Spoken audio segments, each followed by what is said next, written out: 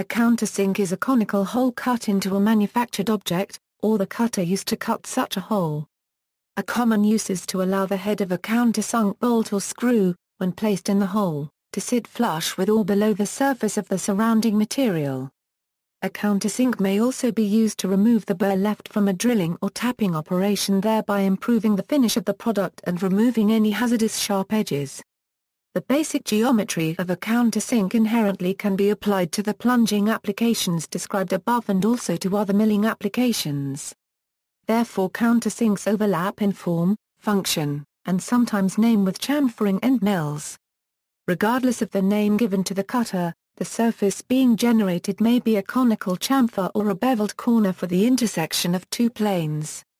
Types, machining, a countersink may be used in many tools, such as drills, drill presses, milling machines, and lathes.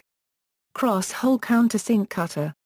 A Weldon-style zero-flute countersink is a cone-shaped tool with a cutting edge provided by a hole that goes through the side of the cone. The intersection of the hole and cone form the cutting edge on the tool.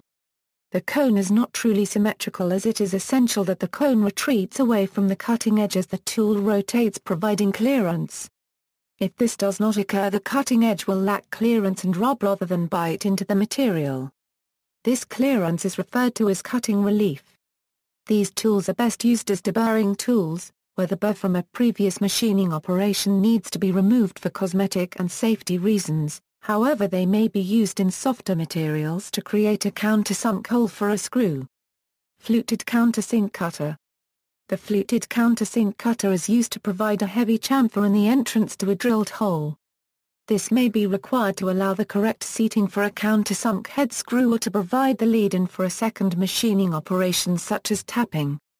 Countersink cutters are manufactured with six common angles, which are 60 a degree, 82 a degree, 90 a degree, 100 a degree, 110 a degree, or 120 a degree, with the two most common of those being 82 a degree and 90 a degree. Countersunk head screws that follow the unified thread standard very often have an 82 a degree angle, and screws that follow the ISO standard very often have a 90 a degree angle. Throughout the aerospace industry, countersunk fasteners typically have an angle of 100 a degree. Back countersink, a back countersink, also known as an inserted countersink, is a two-piece countersink used on tough-to-reach areas.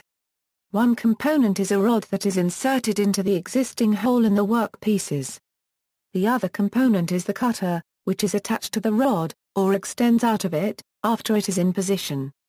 This is comparable to other types of back machining, such as back spot facing, back boring, back counterboring, back milling, and back deburring. The common theme is accomplishing machining operations on the far side of the workpiece from the spindle face, which obviates a second operation setup. This reduces setup time and frustration in several ways.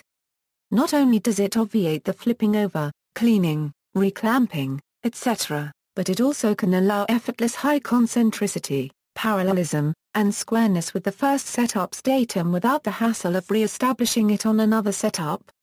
Speeds, feeds, and avoiding chatter, it can often be difficult to avoid chatter when cutting with countersink cutters. As usual in machining, the shorter and more rigid the setup, the better.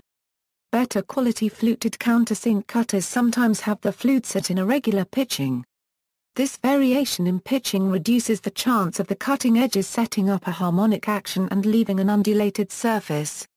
This surface ripple is also dependent on the surface speed of the cutting edges, material type, and applied pressure. Once started it is hard to remove. Too light a feed tends to increase chatter risk. As in many other machining operations, an appropriate response to the chatter may be to decrease speed and increase feed. On a drill press, the slowest available spindle speed is usually best. With a variable speed handheld power drill, the trigger is best squeezed lightly to yield a low spindle speed. Very good chatter-free results can usually be had by countersinking by hand. The slow speed and sensitive feed tend to obviate chatter. With a quarter-inch hex shank, the countersink cutter can be held with a screwdriver handle of the indexable, bit type. Form countersinking, Form countersinking, also known as dimpling, is a countersink that is formed into sheet metal to increase the strength of a structure as the countersinks of multiple pieces nest together. There are two processes for producing formed countersinks, coin dimpling and modified radius dimpling.